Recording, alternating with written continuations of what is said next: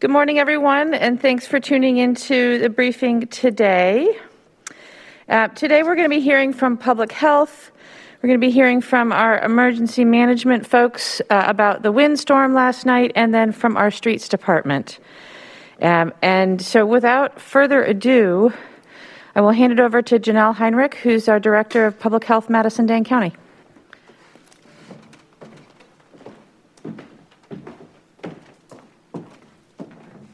Good morning. Thank you, Mayor.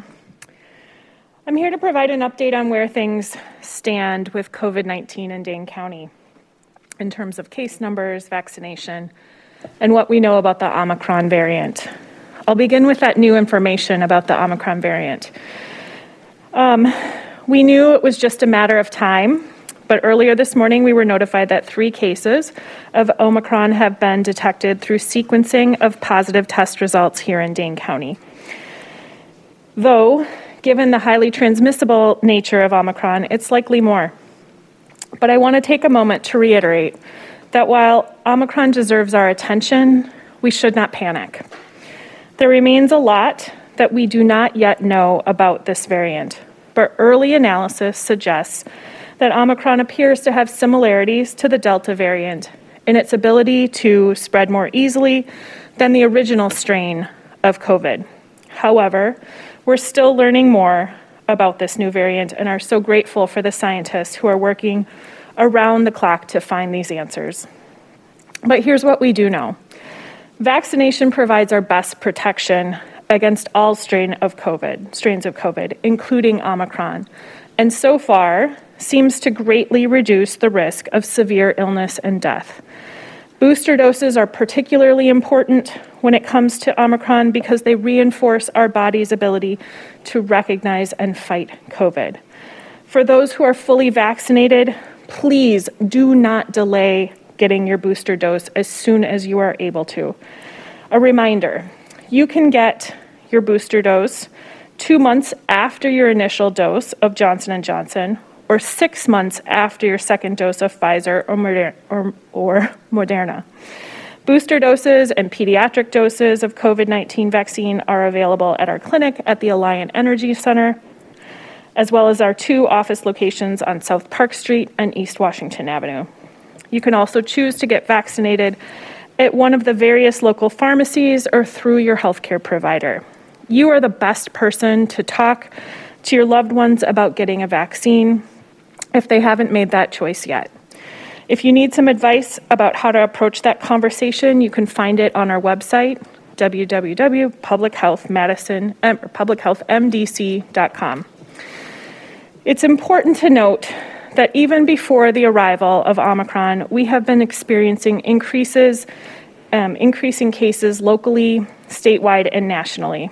The currently dominant Delta variant remains able to spread fast, and that's what it's doing in the Midwest and Northeast, Northeastern states right now.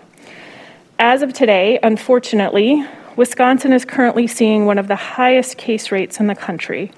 More than half of Wisconsin hospitals are currently operating at overall peak capacity, with more than 96% of the state's ICU beds currently in use, not just because of COVID, but let's be clear COVID is an added stressor at a time when our resources are already stretched. Vaccination with a full initial series plus a booster dose is our best course of action to help relieve our healthcare systems of this added stress. As we continue to monitor rising cases and hospitalizations, and while we wait to learn more about the Omicron variant, and as we are in the midst of this holiday season, please consider prioritizing your exposures, your risk.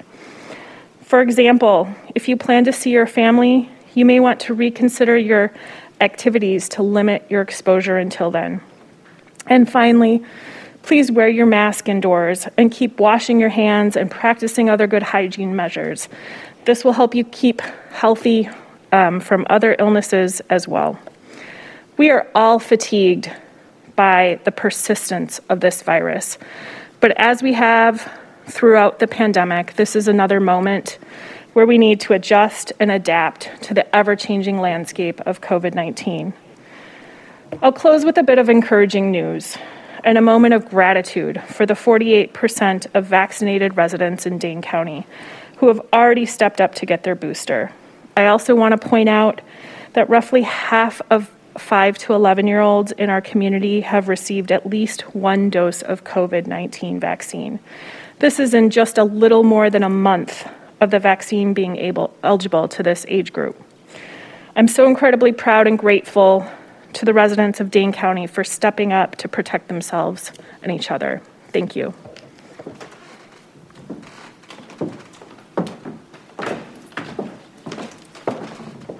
Thank you, Janel. And, and that really is good news um, to hear those numbers, particularly that kiddos are getting vaccinated um, and that those of us who are already vaccinated are getting boosted. So let me just reiterate again it's really, really important. If you are not yet vaccinated, please do get vaccinated. If your kids are not yet vaccinated and they're eligible, please make sure that you get them the shot. And if you're eligible for the booster, now's the time. Don't wait. It's readily available across our community, and it's something that all of us can do to keep ourselves and each other safe. Um, really appreciate everybody making a difference here. Um, as you know, COVID's not the only thing going on in our community, so we're going to hear next from Ed Ruckriegel, who's with our fire department and does emergency management for us, about the windstorms last night.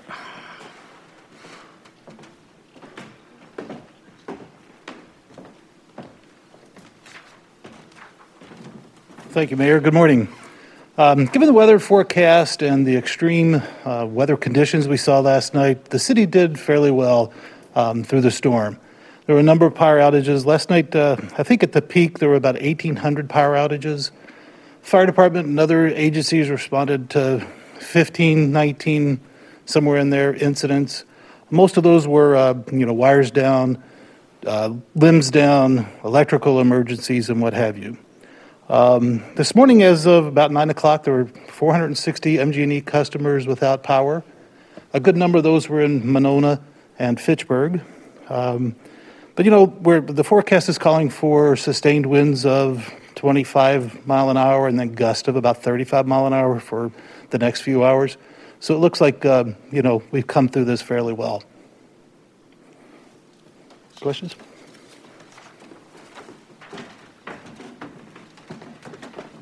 Thanks, Ed. And I just want to thank everybody who was working last night. Um, I know that the MG&E crews were out dealing with the power outages. Obviously, our fire department uh, was out there making sure that people were safe, and our streets crews um, and our forestry crews were out there as well, and will be throughout the day uh, to clean things up.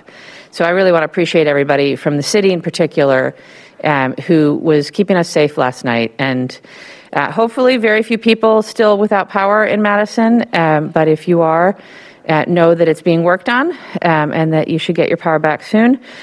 I, I just want to pause and, and say that, you know, this just really, really unusual weather for Madison to see um, 60 degrees in December and then to have these massive windstorms. Um, something is obviously uh, changing about our weather and about our climate. And I think you really can draw the line right back to um, the global climate crisis. So while it's important for us to react in the moment to keep people safe, it's also important for us to take a look at the bigger picture and make sure that we're doing everything we can to reduce the emissions that cause climate change and impact our weather patterns like this. Um, now, speaking of our streets department, we're going to hear from our streets superintendent, Charlie Romines, um, to give us an update on fall and winter, even though it doesn't feel like it.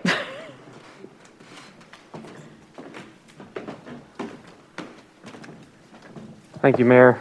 Uh, it may not feel like winter is coming, but in the Streets Division, winter is always coming.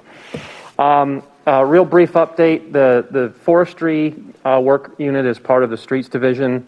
Um, last night, uh, crews came in and responded through mid morning, a total of 16 trees down, uh, 14 limb calls blocking either sidewalks, bike paths, or uh, partial lanes. Um, as the mayor mentioned, uh, I, I, do want to take just a second and give a shout out, particularly uh, to the forestry crews. Anybody who was out in that last night, um, 40 to 60 mile an hour sustained winds for six or seven hours, pitch dark. It sounded like a train going through the trees uh, to grab chainsaws and head out in that to do tree work. um, I think takes a certain level of, uh, of courage. Um, so I just, I want to thank them uh, personally, you know, for, for taking care of that.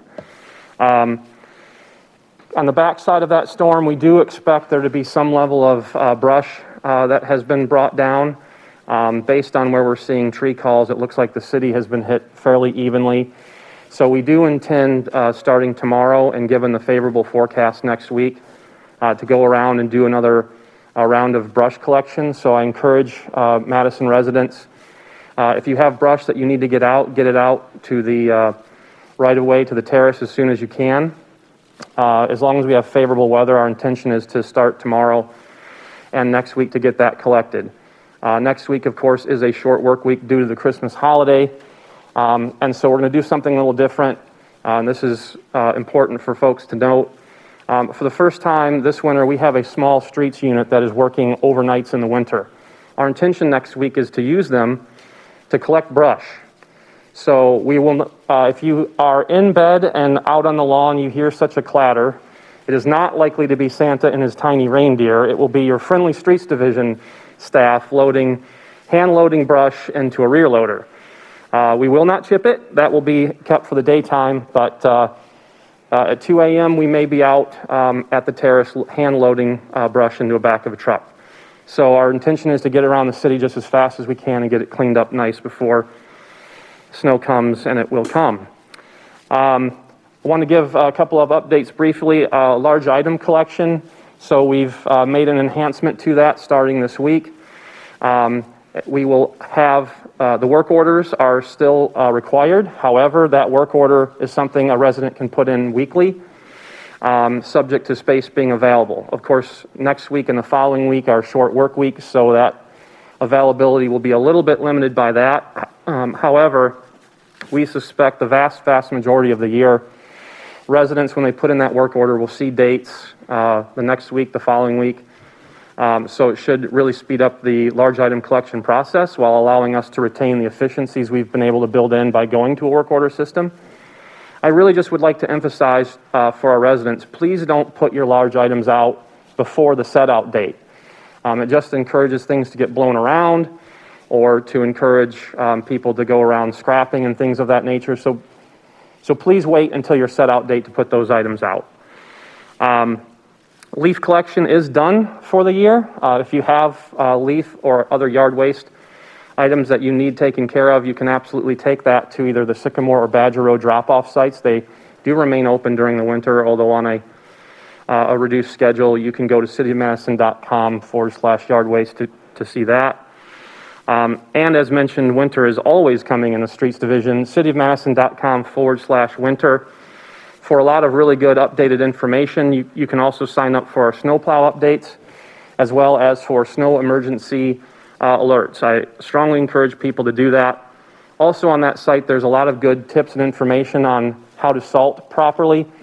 In the city of Madison, we sit on top of our drinking water supply and we're surrounded by beautiful lakes. Unfortunately, that's where the salt goes too. So it's really important not to use more, pardon me, use more than is absolutely needed uh, to make your sidewalk, driveway, uh, parking lots safe. Um, last thing, I'll put a shout out for our plow operators. Um, please, please, please, the best thing you can do for the streets division in the winter is give your snowplow operators a wide berth. Um, we have no better traction than you do. Uh, we cannot stop any faster than you can. Um, but even just slight fender taps can take that plow out of commission for many, many hours um, in order to get all of the work done that needs to be done to put that plow back into operation. So please give them extra room and allows them to get the, the plowing done better uh, and more quickly for your, your traveling needs. Thank you.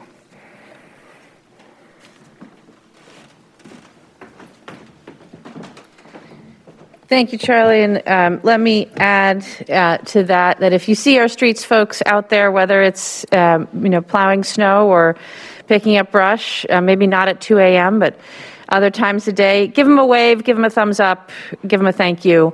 Um, they're working hard to keep our streets safe and as clean as possible. I certainly appreciate that work. Um, all right, we have some uh, a few things to go through today. Mostly good news. Um, I want to start by just alerting folks that the State Department of Natural Resources has been seeking input on two standards related to PFAS compounds. Uh, one was the proposed drinking water standards, and the other uh, is the proposed surface water standards for PFAS. And as I hope you know, we do have a PFAS contamination problems here in Madison. Um, so I was pleased to be able to submit letters to the DNR in support of science-based and health-based standards.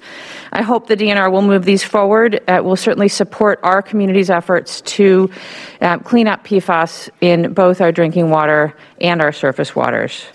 Um, and you can find out more on my blog, cityofmadison.com slash mayor slash blog. Now to the good news, we have a bunch of awards. Uh, in, if you missed it, uh, we presented the Alex Olson Award for the promotion of tolerant, a tolerant and just community um, on December 7th at the last Common Council meeting.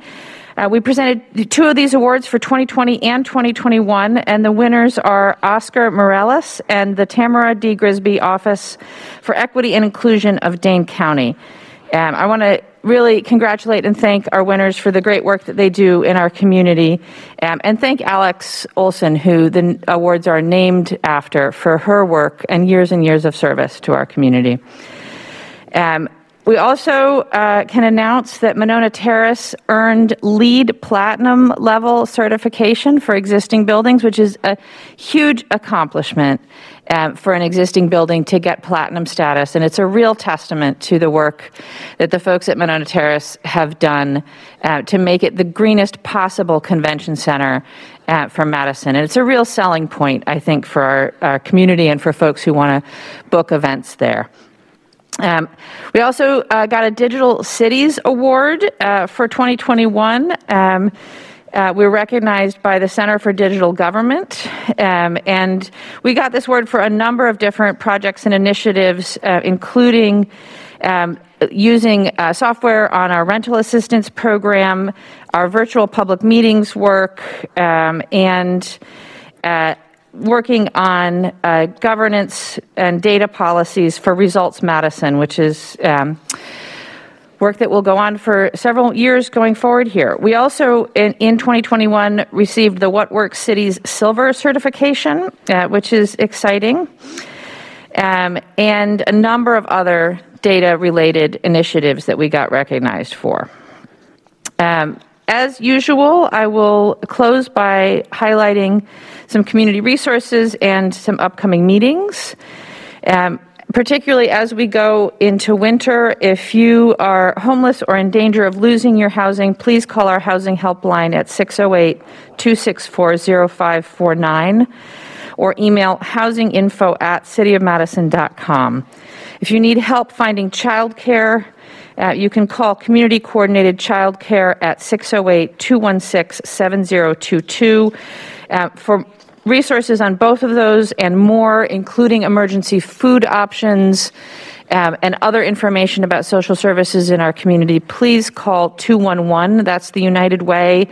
Um, you can either call 211 or you can text your zip code to 898 211, and they will help you get connected to resources in our community. That's what they do.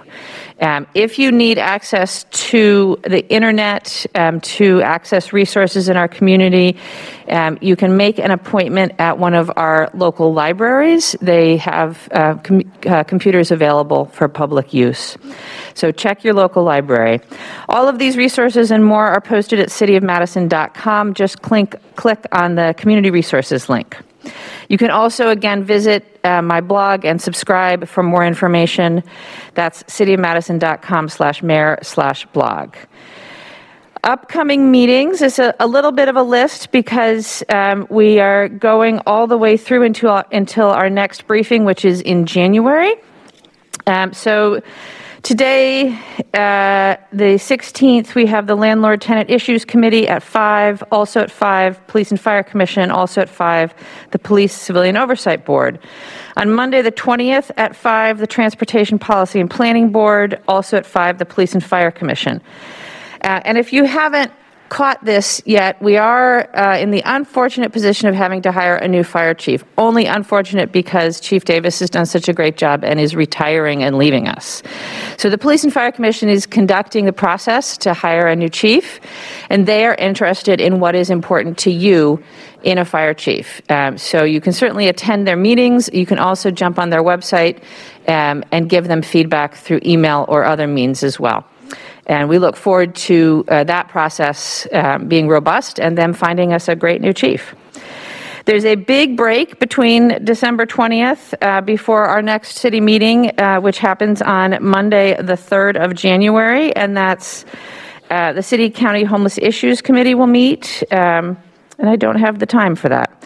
On Tuesday, the 4th at 4:30, the Common Council Executive Committee meets, and at 5, the Police and Fire Commission, and at 6:30, the Common Council. On Wednesday, January 5th, at 4:30, the Board of Public Works, and at 5, the Board of Health for Madison-Dane County. On Thursday, the 6th, the Public Library Board will meet. On Monday, the 10th, the Finance Committee meets at 4:30 PM. Um, and then the Police and Fire Commission will also meet at 5:30 on Monday, the 10th. On Tuesday, the 11th, Madison Arts Commission meets at 5:30, and Wednesday, January 12th, uh, we have the, a 5 o'clock Public Safety Review Committee and a 5:30 p.m. Education Committee. That is probably more than you want to think about, but as always, you can find information about all of these meetings online at the city's website, citymadison.com. The vast majority of our meetings are still taking place virtually, and so you can register to view the meeting uh, or you can sign up to give public comment at those meetings as well. I will end by saying uh, happy holidays and happy new year to everyone. Please be safe get vaccinated, get boosted, wear your masks, wash your hands, and enjoy your time with friends and family. Um, and we will see if we have any questions. We do have questions, two of them for Janel. All right, Janel?